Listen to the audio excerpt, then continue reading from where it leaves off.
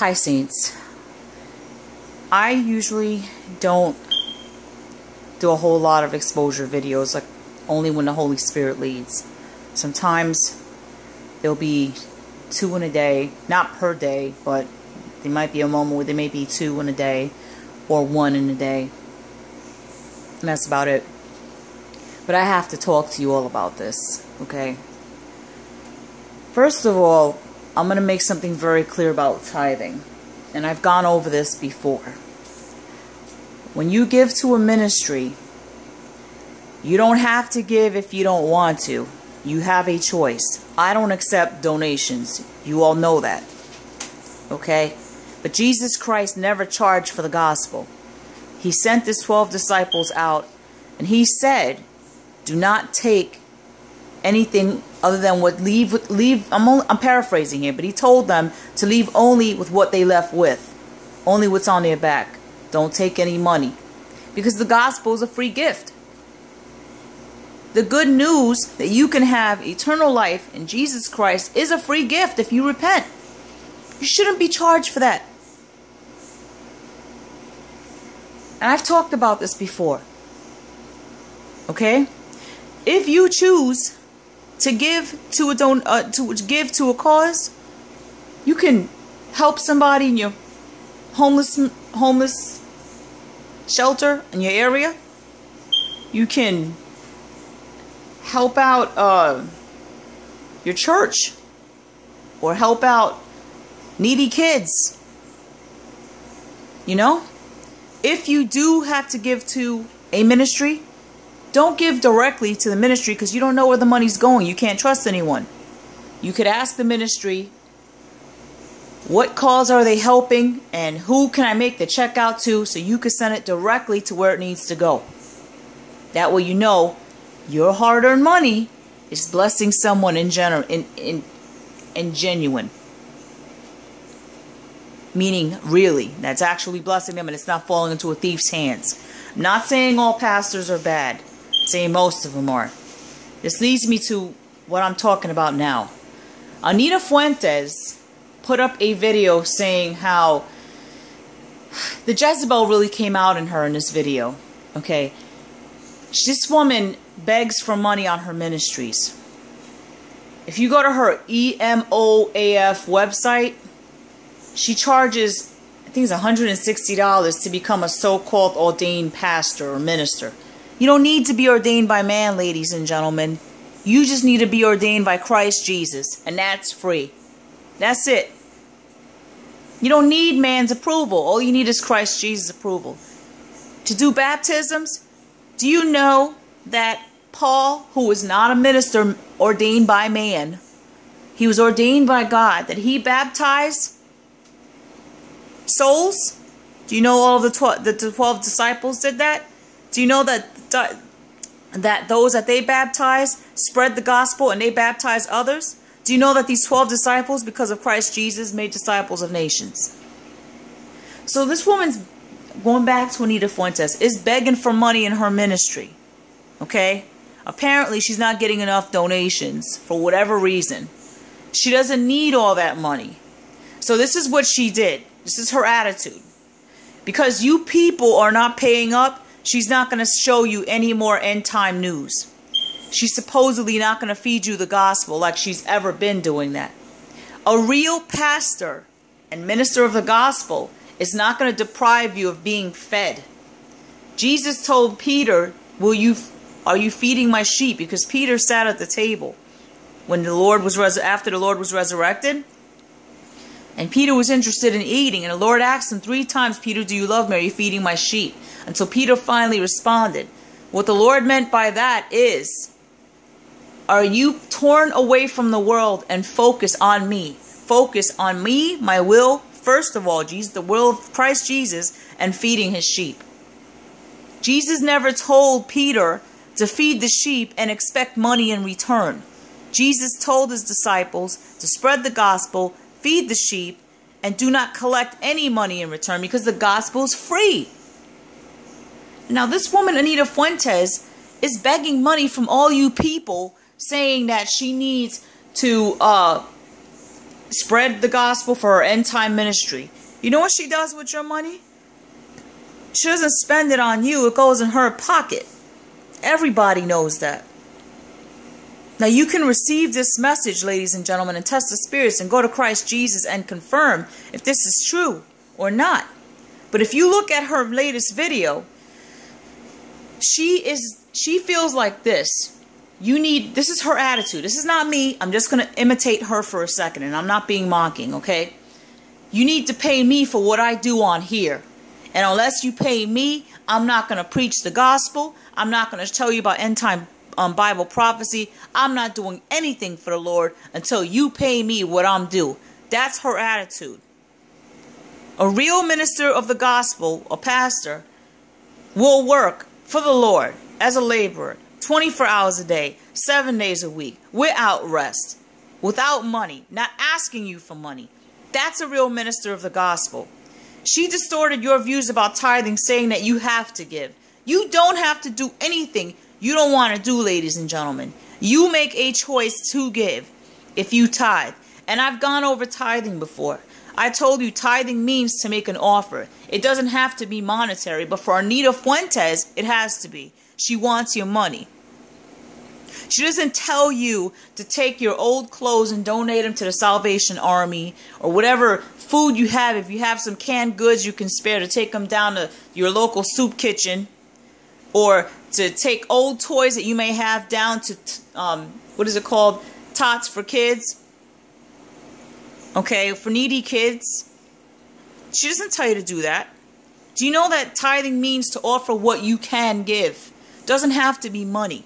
So if you have old clothes in your closet that you can spare to the Salvation Army so they can clothe the homeless or even blankets, that's an offering. If you have um, any canned goods to spare to homeless shelter, to um, your church, to your soup kitchen, for needy kids, that's an offering. It does not have to be money. But for Anita Fuentes, it's all about money. She's greedy. She's a greedy, selfish, false prophet, Jezebel. And I'm not the only one calling her out. Other people have too. She's mad at you people because you're not donating any money. And she's not going to put up any more so called prophecies or so called, she's a false prophet anyway, but so called Bible prophecy. She's not going to put up any more anything about the gospel until you pay her. Then she'll start preaching the gospel. It don't work like that. If you profess to be a minister of the gospel, you do the will of the Father. Right now, this woman's putting herself first when Christ Jesus comes first. Okay? Every she put up a, a latest letter on her YouTube channel saying that people are saying this to her. If your ministry is not you know, if it's becoming a fun, if you're going through financial hardship, you're not able to keep your ministry afloat, why don't you cut down? They, people made excellent suggestions. They said, she should stop doing the billboards, stop doing the conferences, stop. She doesn't need the website, EMOF. She doesn't need to sell cups. She doesn't need to sell so called fake uh, minister ordination packages. You know, she doesn't need any of that. All she needs is a YouTube channel like I'm doing with you guys and to just speak. And whoever chooses to share the, these videos can share it. Because all it takes is one soul, one soul, to hear the truth and the word of God and to be fed like you are in this ministry with me right now. And take that one video and spread it to thousands. And that'll create fields of righteous trees, meaning righteous souls, who will go out and spread the gospel and make disciples of nations and keep spreading it. All you need is one soul, people told her. They were giving her all these suggestions. You know what she said? She called them abusive for saying that, for telling her to cut expenses. You don't need to do conferences. You don't need to do um,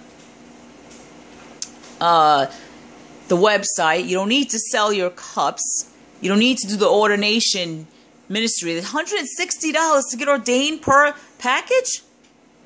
per ministry package to get ordained as a pastor, as a minister by her is $160. You don't need that, ladies and gentlemen. You could get ordained by Christ Jesus. Okay? Um about the advertisements, told telling her to cut back on that telling her to cut back on the vlog because that costs money. Getting a radio vlog and a radio station costs money to cut back on that. This woman is tricking you people. She did it a few years back where she was asking for $2 million from donations to get this bigger office space to spread her gospel when you don't even need that. Okay? And I called her out on it. I told her, you know, why don't you get out a bank loan? Why are you asking these people for their hard earned money? You know what she did? She canceled the donations. She canceled it because she knew I was right and she's an evil snake and she's a liar. Ladies and gentlemen, I do my ministry right from my house. You I gave a tour of my house before. I'm not rich. I'm not fancy. I don't do fancy video editing. I collect whatever videos I can get and send forth the end time news to you. Okay, if I do any video editing, my sons help me. It's right from their PC. You know what? It's video editing is not bad. Okay, they do excellent work, and it costs guess how much? Zero dollars. Zero dollars. I don't accept donations, period, because I feel as though you people work hard for your earn, you work hard for your money. You want to donate? You want to give to this ministry? Do me a favor. You give to your homeless in your area. You give to your, your soup kitchens.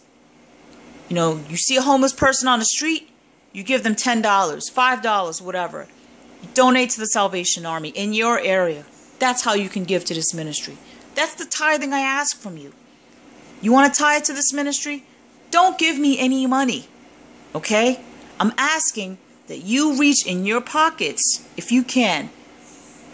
Pockets meaning canned goods, old clothes, old blankets, whatever.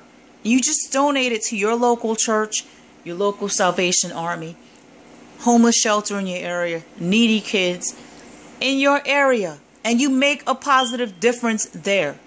Okay? Jesus was very clear when he said, Do not accept money when you are preaching the gospel because it's a free gift. You don't charge for the gospel like Miss Fuentes is doing. Not only her, Pastor Paul Begley does that. Uh, there's another one. I told you about Rachel Sheriff. She recently put out a video saying that she was she needed money, she was in trouble, you know, she her husband left her, this, that, and the other. Next thing you know, you see her preaching a fake gospel in New York City. Where did she get that money from? Obviously from the stupid people that donated to her so-called satanic ministry. These fake pastors and ministers, ladies and gentlemen, they're disgusting. Okay? Because Jesus is infuriated. You don't have to charge for the gospel. You, as a minister, do not have to charge for the gospel. The gospel is a free gift. You people don't have to donate a dime for the gospel because it's a free gift. Okay? It's a free gift. All right? I've had people offer me money and I actually turn them down. And I tell them, you take that money and you donate it to somebody in your area that needs help. Ladies and gentlemen, don't let Satan steal your blessings. You could bless somebody else that really needs help, and God will bless you in return. If you choose to donate to a ministry, that is your choice. All I ask is you pray on it. You pray on it. And do the smart thing, ladies and gentlemen. If your pastor's asking you for money, you tell him who needs help, where who can I make the check out to, what organization. If you are donating to a ministry, you have every right to ask for a receipt to find out to find out where your hard-earned money is going to to prove that that pastor is donating to where they say they're going to donate to. People asked Anita Fuentes for this and she flipped out. They said we want an account for where our donations are going and she called them abusive. Only Satan does that. Be careful, ladies and gentlemen, and remember, preach the gospel in and out of season. It is a free gift, not charged. In other words, you preach the gospel for free. Don't place a price tag on it, or you will have to answer to Christ, like these false prophets will.